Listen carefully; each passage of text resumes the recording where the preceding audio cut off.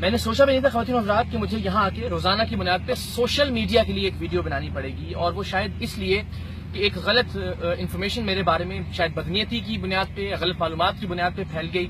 اور اس کے بعد آپ لوگ بھی سوال کر رہے ہیں، دعائیں کر رہے ہیں، گھر والے رشتہ دار، احباب، دوست سبھی۔ سو میں نے یہ سوچا کہ اس طرح کی ویڈیوز کے ذریعے کچھ خبریں بھی ہم آپ تک پہنچاتے رہیں اور اس سے ظاہر ہے خیریت کی آگاہی بھی ہو جائے گی۔ بس یہ وضاحت ہم کر دیں کہ یہاں ایک ایسی صورتحال ہے کہ جہاں عملی طور پر پاکستانیوں کا داخلہ بند کر دیا گیا ہے برما کے اندر۔ جنگون نے آپ نے جانا کہ اینکرز نے یہاں آنے کی کوشش کی، انہیں واپس بھجوا دیا گیا۔ ہمارے پروڈیوسر تھے، انہیں عملی طور پر گرفتار کر کے یہاں سے واپس بھجوایا گیا۔ تو ایسی صورتحال میں ہم یہاں برما کے اندر کیسے کام کر رہے ہیں، یہ ہم جانتے ہیں یا ہمارا خدا جانتا ہے۔ سو ایسی صورتحال میں صرف یہی ہمارا کام ہے کہ ہم آپ تک خبر پہنچائیں۔ یہ یہ دعویٰ نہیں ہے کہ ہم یہاں کوئی جہاد کرنے آئے ہیں۔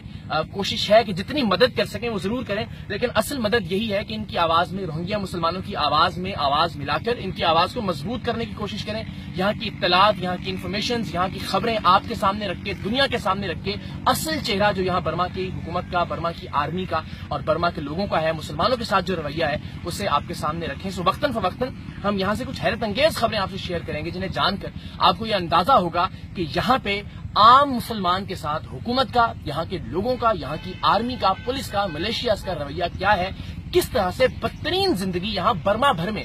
رکھائن میں تو صورتحال بہت نہ پہ بے بہت خراب، لیکن پورے برما میں صورتحال کچھ اچھی نہیں ہے یہاں کے مسلمانوں کی